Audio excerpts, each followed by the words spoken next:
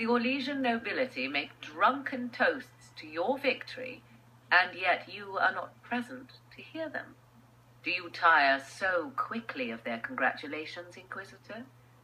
Tis most fickle, after all your efforts on their behalf. I would have stayed, but the punch ran dry. Scandalous. Indeed. Let us see if you take this piece of news as poorly.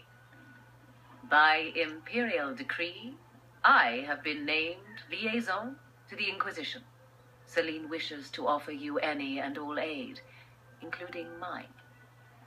Congratulations. I had no idea you were interested in joining the Inquisition. The assignment has been given to me, regardless of my personal interest. Celine knows you face an opponent who wields great magical power, which is far more important than her own curiosity. You will require my knowledge if you are to defeat such magic. Regardless, Corypheus is a threat to Orlais and to myself. Thus, I am not opposed to the appointment. What skills do you have that would benefit us? I have knowledge which falls beyond the realm of most mages. I suspect this is also true of Corypheus, thus it behooves you to add to your arcane arsenal, yes? Mundane knowledge will not bring the rift in the sky to a close, after all. When you say knowledge beyond the realm of most mages, do you mean blood magic? I know many obscure, forgotten, and forbidden arts. Some of it you might consider blood magic, yes? Should thought of that frighten you, allow me to offer reassurance. Knowledge alone does no harm.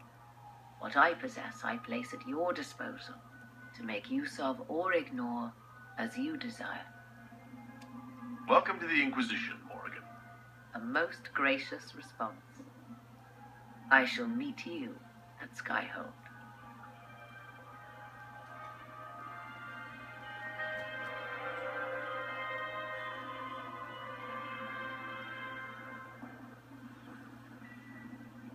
Is everything all right? You look troubled. I'm just worn out. The night has been very long.